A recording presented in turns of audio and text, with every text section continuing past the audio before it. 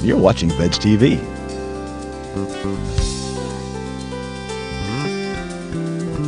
We're going to make savory sweet potato bites. Easy, delicious, perfect for a buffet, great for entertaining. Here's what you do. I always use yams, and you want to choose about two pounds of sweet potatoes, yams that are of uniform size. I've cut them into half inch rounds. They're unpeeled, just like that and we bake them in the oven at 400 degrees for about 20 minutes. Make sure that they're soft but not mushy. First, we're gonna mix the topping. Really easy. We're gonna whisk together in a bowl a quarter cup of Vegenaise. That's vegan mayonnaise.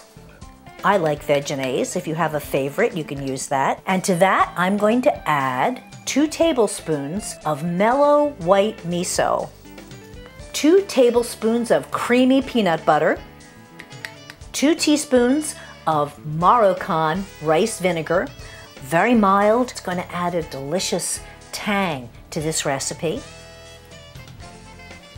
Two teaspoons of sesame oil, a half teaspoon of ground ginger, and a dash or two of hot sauce. For me, it's two dashes.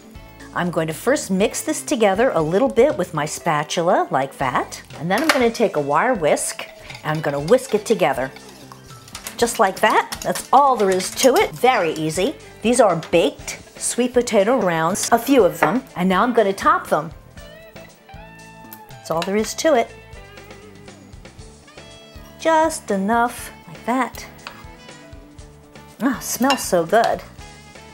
If you don't want to use peanut butter, if you're allergic to peanuts, you can use tahini. Just a half tablespoon on each sweet potato round, like so. I have some scallions sliced on an angle to garnish with. I'm just gonna add a few like this. Just add a couple. Just a little garnish like that. Looks really lovely. Presentation is so important. It actually adds to the taste and the flavor. It certainly adds to the experience when you make food look enticing. And now I have some toasted sesame seeds. I'm just gonna sprinkle them on like that. Mmm, it looks amazing. And that's all there is to it.